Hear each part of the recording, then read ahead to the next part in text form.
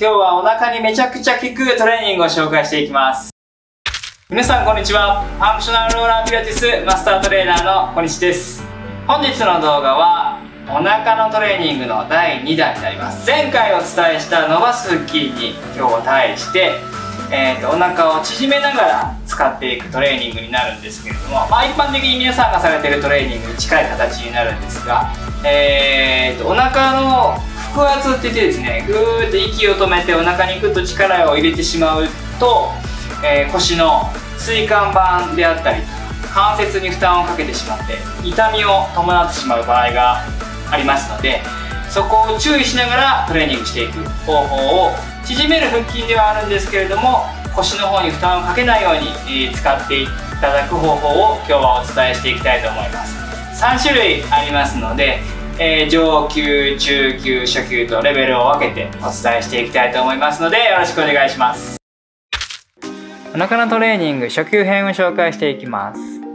まずはお腹を後ろ、みぞおちを後ろに引いて背中を広くセットしていきます。足を手で支えながら持ち上げて後ろにゴロンと転がっていきます。そして元の位置に帰ってくる。これを繰り返していきます。足がマットにつかないようにしっかりお腹でコントロールして動いていきましょう。背中を丸くしてアルファベットの C の字を描くように背中を丸めていきます。5回終わったら OK です。お腹のトレーニング、中級編を紹介していきたいと思います。仰向けになり、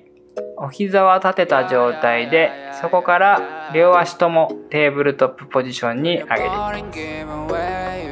す。みぞおちを中心に上半身を起こすんですが、頭を後ろで組んで肘を遠くに押し出すようにして起き上がってくるとお腹に入ってきます右手をお皿の上に置いてそこからさらに手を遠くに伸ばしてお腹をしっかり使って動かしていきますこの時に右の脇から右のお腹にしっかり入っているのを確認しながら動かしていきましょう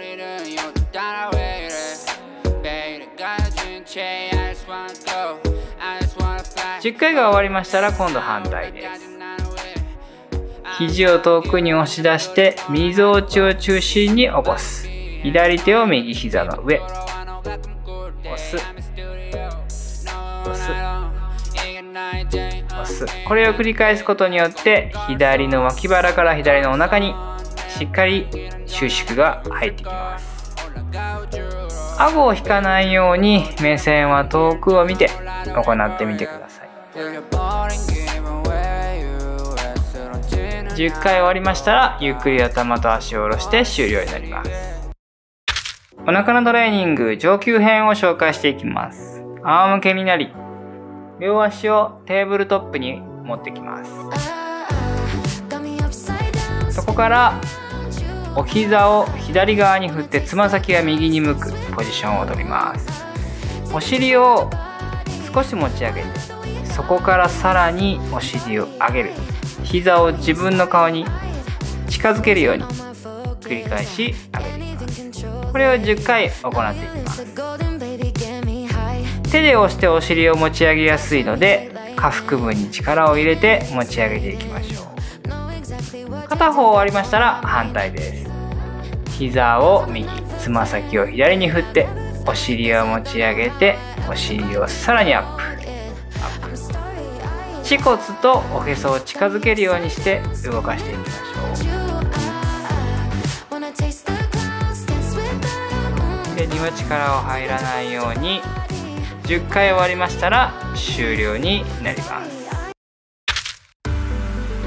皆さん今日の動画はいかがだったでしょうか？本日は3種類に分けた縮める腹筋をお伝えしていきました。初級中級上級と分けていったんですけれども、えー、特に上級の方はですね、えー、多少やっぱり腰を丸めていく動きが多くなりますので、えー、回数はね、え今回10回やったんですけれども少なめでも結構です。5回ずつからとかでも結構ですのでちょっと腰が痛めない範囲程度でえー、始めていただくと、まあ、しっかりね必要な筋肉ではあるんですけれどもやりすぎるとやっぱ腰を痛くなってしまう可能性がありますのでちょっと注意して行っていただいてでもしっかりできるとお腹の筋肉しっかり入ってきます。とってもしんどいんですけれどもしっかり使えるようになってきてお腹は締まってきますので是非継続してやってみていただけたらと思います。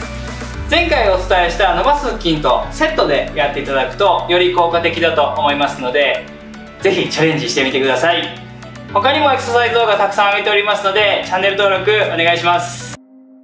나랑 놀아 오늘이 끝날 때까지. 나랑 놀아 오늘이 끝날 때까지. 나는 너랑 놀고 싶지 let's party. 나는 너를 갖고 싶지 아직까지. You're my sunshine. 날 비춰주는 sunshine